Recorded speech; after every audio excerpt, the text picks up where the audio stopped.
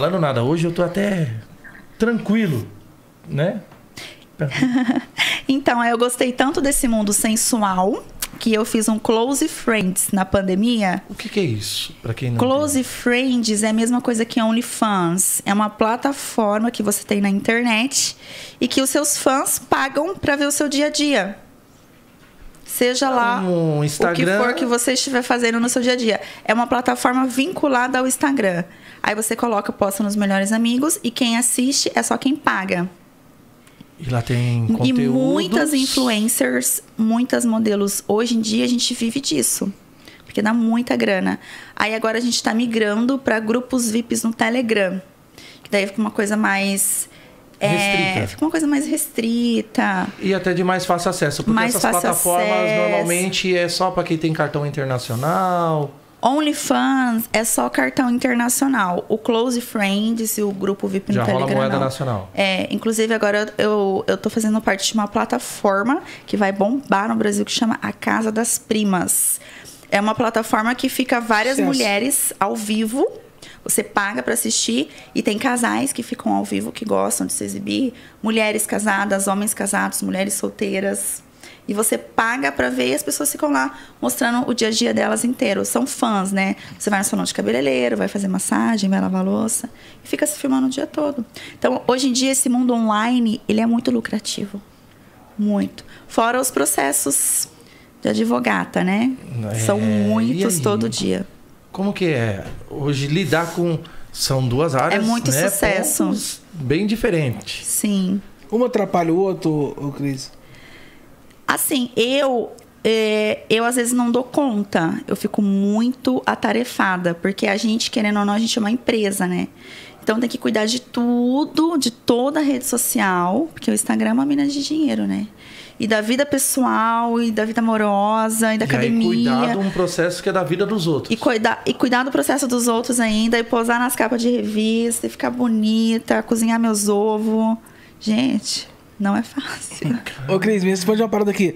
Aí, quando despertou essa vontade de fazer advocacia? Hum. Você já fazia os strip? Não.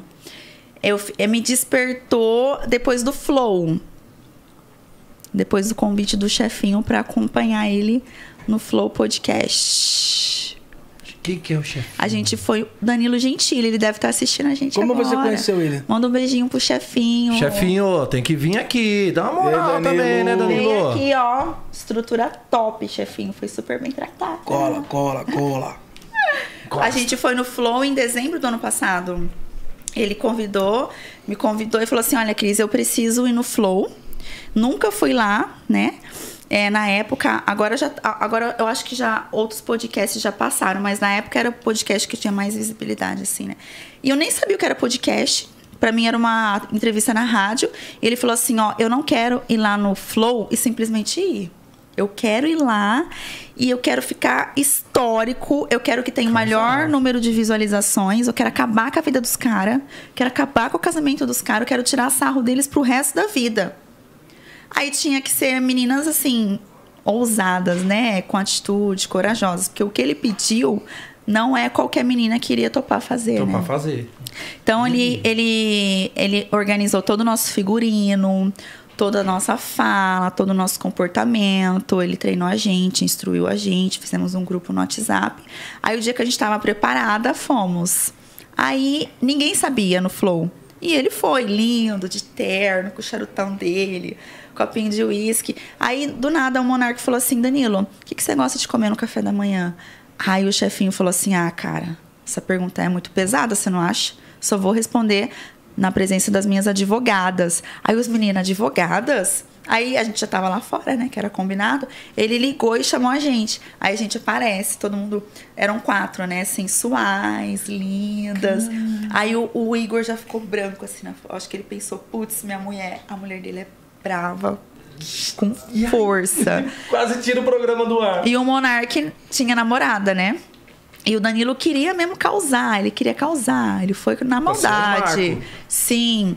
Aí a gente já chegou, eles assustados assim, e a gente já falou assim: ó, a gente vai sentar do lado deles, chefinho. Eles estão fazendo pergunta inadequada para o senhor, né?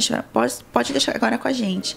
Então a gente sentou do lado deles e já com a mão no no, no pipi. O Danilo falou assim: pega pesado, enfia a mão dentro da calça, não fica só na massagem, senão não vai ter graça.